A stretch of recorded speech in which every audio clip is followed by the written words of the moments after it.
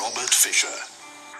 The tree hums quietly to itself, a lullaby to the buds. Bursting with baby leaves, its branches ride the winds, and in all its new green glory, the tree begins to sing. The tree stretches in the sun. It knows the birds that fly, the beasts that run, climb, and jump from its heavy loaded branches. It yawns and digs its roots deep into the still center of the spinning earth.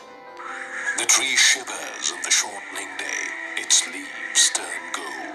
The clouds pass, the seeds fall. The tree drops its coins of gold, and the days are rich with the spending of leaves. Old branches ache.